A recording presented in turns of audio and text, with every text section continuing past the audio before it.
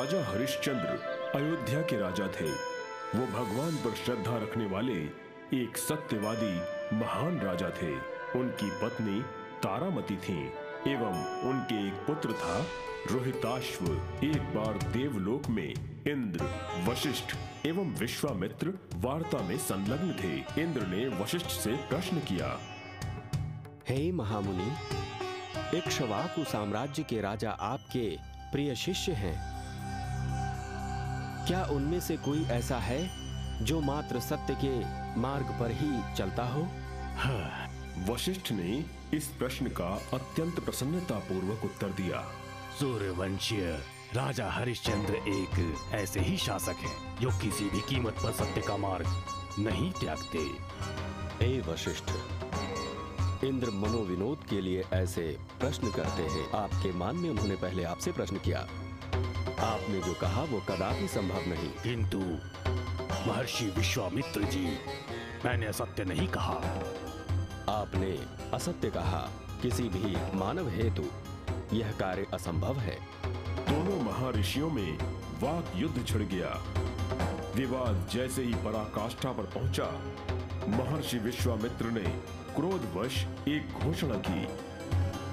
वशिष्ठ जी यदि मैंने आपकी बात असिद्ध न कर दिखाई तो मैं अपना नाम बदल दूँगा।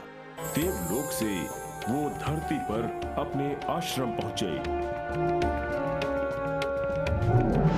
उन्होंने राजा हरिश्चंद्र को मिथ्यावादी सिद्ध करने की योजना बनानी प्रारंभ कर दी। कुछ समय पश्चात राजा हरिश्चंद्र ने दान पुण्य का कार्य किया, जिसमें भारी मात्रा में स्वर्ण दान किया जाना था। विश्वामित्र को वशिष्ठ के चले जाने की प्रतीक्षा थी। तब उन्होंने राजा हरिश्चंद्र से भेंट की। राजा ने उनका सम्मान पूर्वक सत्कार किया तथा उनसे महल में आने का प्रयोजन पूछा। आपका स्वागत है महामुनि। आपके आने का क्या प्रयोजन है? मुझे दान चाहिए।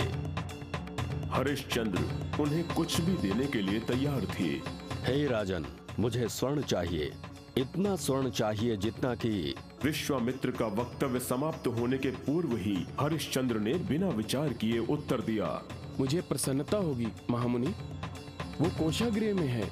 आप ले जा सकते हैं। विश्वामित्र को ऐसे उत्तर की अपेक्षा नहीं थी। ये उनकी प्रथम पराजय थी। राजन कोष में जो कुछ भी होगा आवश्यकता पड़ने पर ले जाऊँगा। उन्हें सम्मान मिला। तथा वो अपने आश्रम लौट गए। एक दिन राजा हरिश्चंद्र अपने आखेट के लिए निकले हुए थे। विश्वामित्र को ये ज्ञात होते ही वे राजा से पूर्व वन में पहुंचकर तपस्या करने बैठ गए। जब राजा वहाँ से निकले, तब विश्वामित्र ने स्त्री के विलाप स्वर का भ्रम उत्पन्न किया। अरे, कोई रक्षा करो। कोई तो मेरी रक्षा करो। मंत्री जी क्या आपने विलाप सुना? जी। चलिए देखते हैं किसे मदद चाहिए। ये कहते हुए वो उस दिशा में दौड़ पड़े जिधर से विलाप के स्वर आ रहे थे। मंत्रियों तथा अन्य लोगों ने उनका अनुसरण किया। इस हलचल से महर्षि की तपस्या में विघ्न उत्पन्न हुआ। राजा अपराध बोध से ग्रस्त हो गए। हे मुनिवर कृपया मुझे क्षमा करें। मैंने आपके तप में बाधा डाली। इसके पश्चाताप हेतु मैं आपको अपना राज्य देता हूँ। क्या? तुम्हारे शब्द भावहीन हैं। संभवतः ये शीघ्रतावश बोले गए हैं। मुनिवर मैंने पूर्ण रूप से सोच समझकर ही कहा है। मैं वचन देता हूँ आपको। ठीक है परंतु तुम्हें एक बात बता दूँ। तुम पूर्व से ही मेरे ऋणी हो। स्वर्ण देने का वचन देकर भी वो तुम्हारे पास है। मुझे स्मरण है। हे विश्वामित्र आप जब भी चाहें मैं उसे आपको दे दूँगा। ठीक है, राजधानी वापस जाओ। स्वर्ण सहित अपना राज्य मुझे देने की तैयारी करो। राजा हरिश्चंद्र सहर्ष वहाँ से चले गए।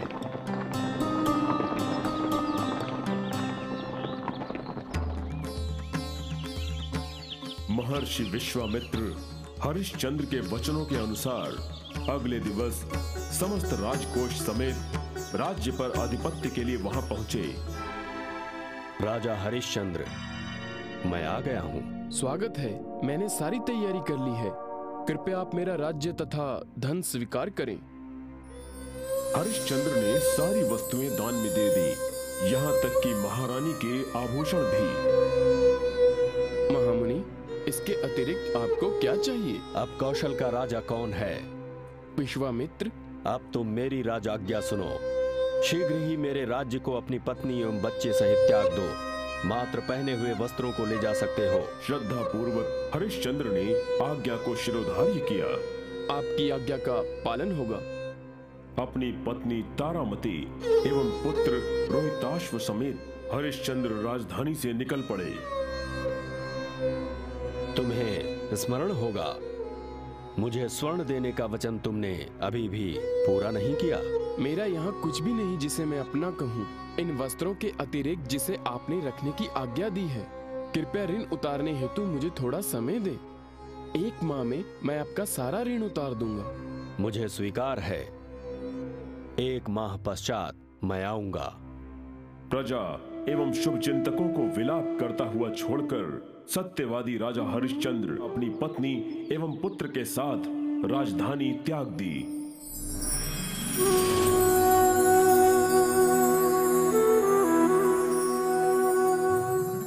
कठिनाइयों के दिवस। तीनों को अपने जीवन यापन हेतु स्वयं कार्य करना पड़ा। वो पवित्र गंगा के दर्शन हेतु काशी की ओर चल पड़े। पवित्र नगर काशी के द्वार में प्रवेश करते ही उनका सामना महर्षि विश्वामित्र से हुआ। तुम्हें स्मरण करा दूँ कि आज तुम्हारे ऋण चुकाने का अंतिम दिवस है। हरिश्चंद्र ने दिवसों की गिनती की तथा उन्हें आभास हुआ कि विश्वामित्र ने सत्य कहा है। हताशा के पश्चात भी उन्होंने तुरंत साहस बटोरा एवं स्वयं से कहा अभी ऋण चुकाने में आधा दिन शेष है। मैं अपना वचन अवश्य निभा पाऊँगा। अभी वो विचार मग्न ही थे कि विश्वामित्र ने कहा मेरा एक सुझाव है हरिश्चंद्र। यदि ये कह दो कि तुम ऋण नहीं चुका सकते अथवा तुम मेरे ऋणी नहीं हो तो मैं अपना ऋण भूल जाऊँगा। महामुनि ये सत्य है कि मैंने आपको स्वर्ण देने का वचन दिया है। मैं उसे दिन के अंत तक अवश्य चुका दूँगा। महर्षि हरिश्चंद्र को सोच विचार के लिए छोड़कर चले गए।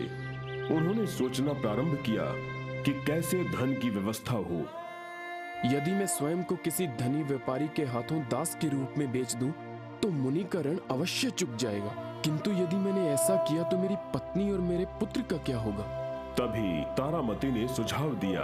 हे स्वामी आप मुझे तथा पुत्र को बेचकर अपना ऋण चुका दें। ये तुम क्या कह रही हो प्रिय? मैं तुम्हें तथा हमारे पुत्र को बेचकर दास कैसे बना सकता हूँ? सर्वप्रथम तो वो अचंभित हुए। तत्पश्चात उन्हें सत्यता का आभास हुआ। अतएव वो अपनी पत्नी एवं पुत्र को लेकर नगर के व्यापार स्थल की ओर चले। वहाँ पहुंचकर अश्रुपूरित नेत्रों से उन्होंने उच्च स्वर में घोषणा की। मेरी पत्नी एवं पुत्र बिक्री के लिए है। वो एक अच्छे कर्मचारी सिद्ध होंगे। एक ब्राह्मण उनके निकट आया एवं बोला कि उसकी तरुण पत्नी को एक घर पर काम करने वाली स्त्री की आवश्यकता है तथा मात्र तारामती को क्रय करने का प्रस्ताव रखा। पत्नी को खरीद लूँगा पुत्र को नहीं। क्योंकि ये मेरे किसी कार्य का नहीं है। ये इतना छोटा है कि इसके कोमल हाथ कोई कार्य नहीं कर सकते। अतः मैं केवल तुम्हारी पत्नी को खरीदूँगा। कृपा करें मैं इसे कार्य सिखा दूँगी। ये शीघ्र ही उपयोगी हो जाएगा। हम्म ठीक है। मैं दोनों को खरीद लेता हूँ। ये लो तुम्हारे पैसे। धन्यवाद।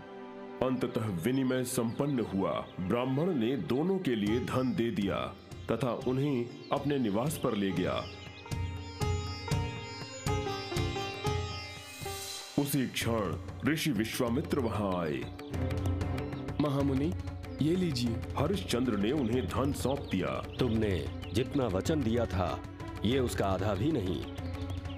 सत्य है मुनि मैं शीघ्र ही सारी राशि चुका दूँगा। अब दिन समाप्ति पर है। तुमने वचन नहीं रखा उसे तोड़ दिया।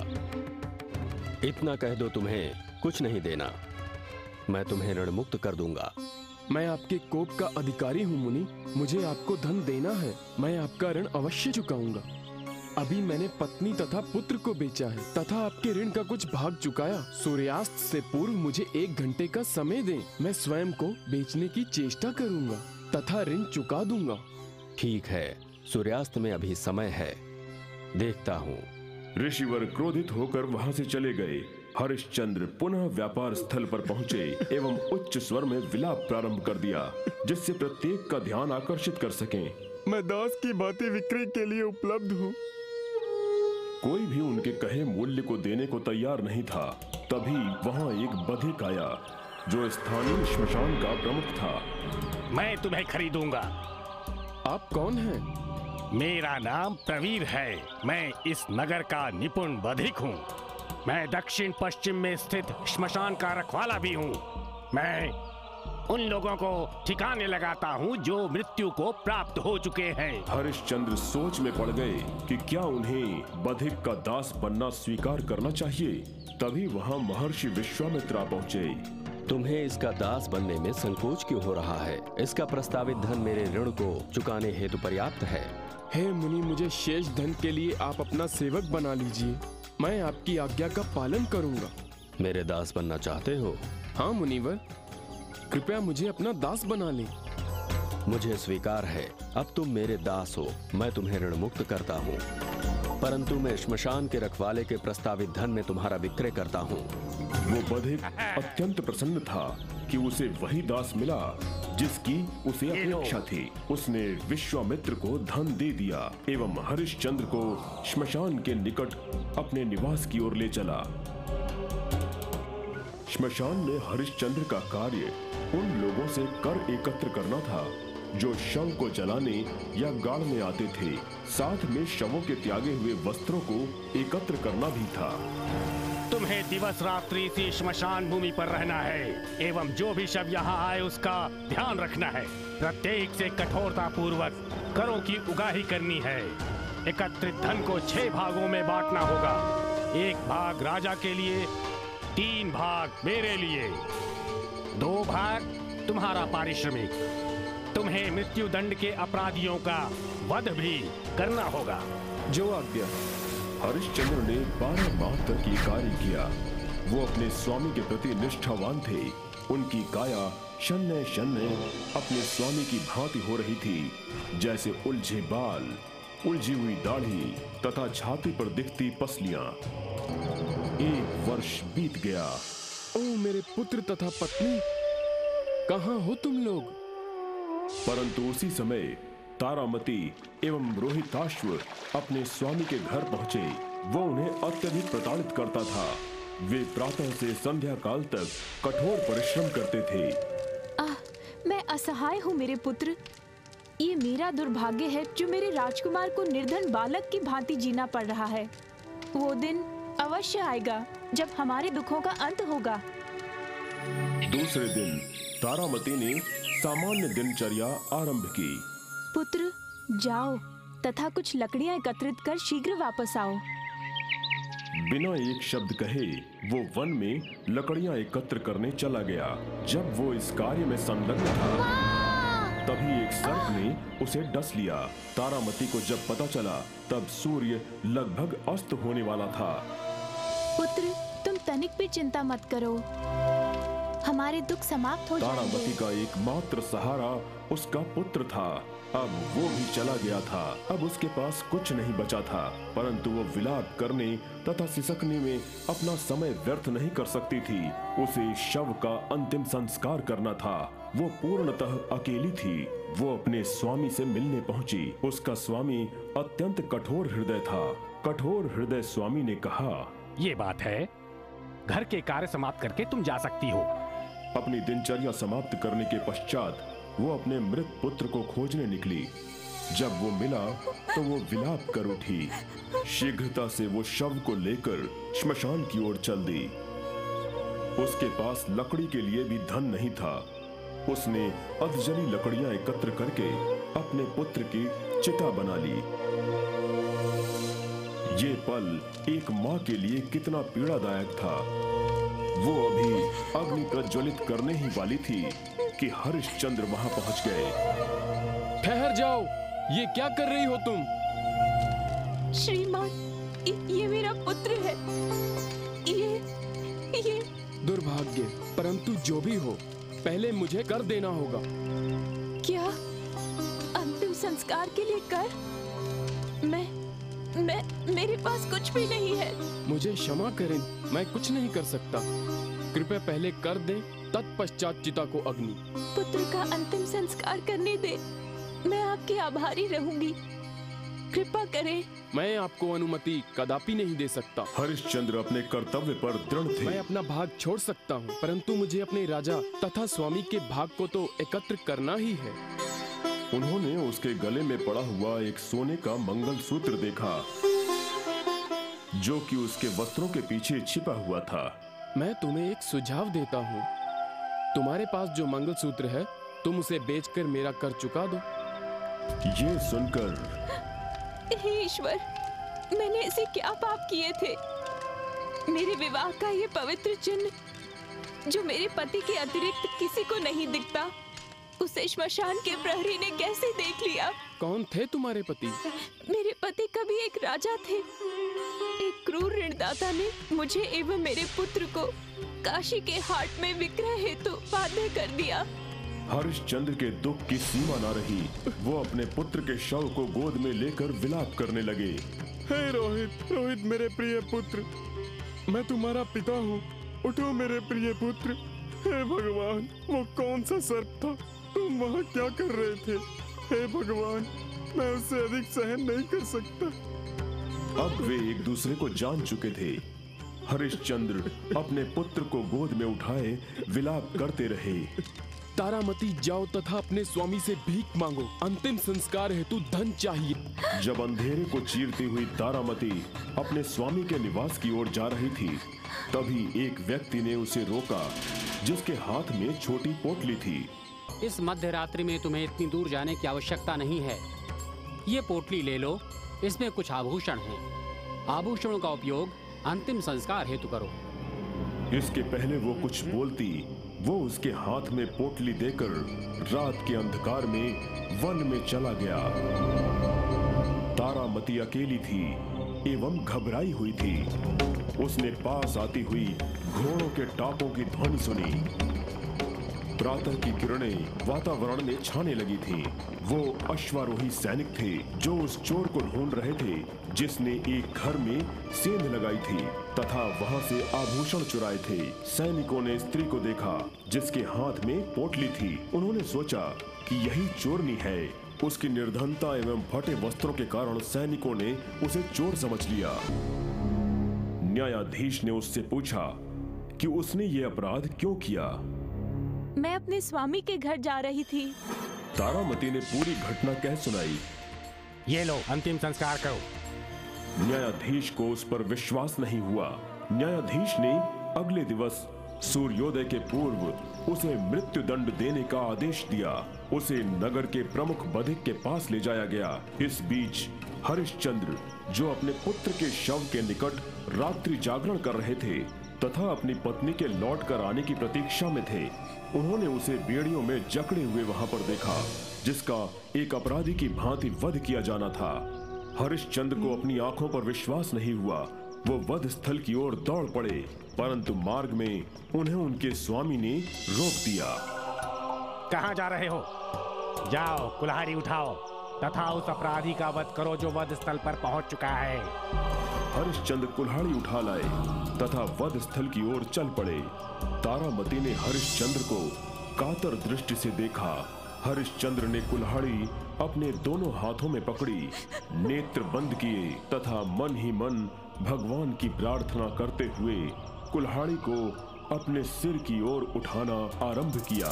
जैसे ही वो कुल्हाड़ी को नीचे की ओर ला रहे थे उन्होंने एक स्वर सुना। ठहर जाओ हरिश्चंद्र। वो विश्वामित्र के थे। स्वर्ग से ब्रह्मदेव इंद्र तथा वशिष्ठ हरिश्चंद्र की परीक्षा देख रहे थे।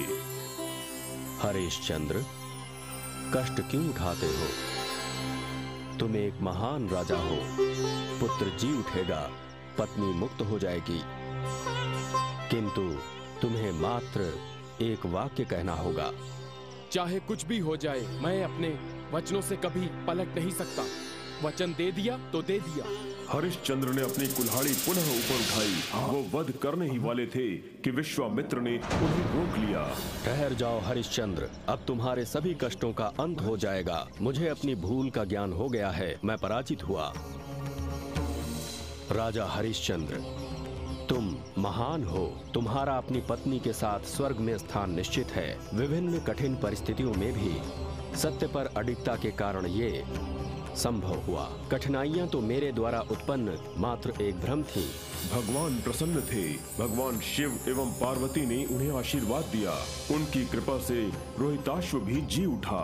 विश्वामित्र ने उनकी तथा वशिष्ठ के मध्य हुई वार्ता तथा उसके परिणाम के विषय में बताया। उसके पश्चात क्या हुआ? आपका कथन मिथ्या है मैं दिखा दूँगा। वो ब्राह्मण जिसने रानी एवं राजकुमार का क्रय किया था वो अग्निदेव थे। श्मशान के प्रमुख एवं बधिक के रूप में अन्य कोई नहीं मृत्यु के देवता स्वयं यमराज थे। तुम्हारी सत्यवादिता के लिए कठिन तप से प्राप्त हुई अपनी शक्ति तुम्हें उपहार में देता हूँ। चारों दिशाओं से आशीर्वाद स्वरूप पुष्पों की वर्षा होने लगी।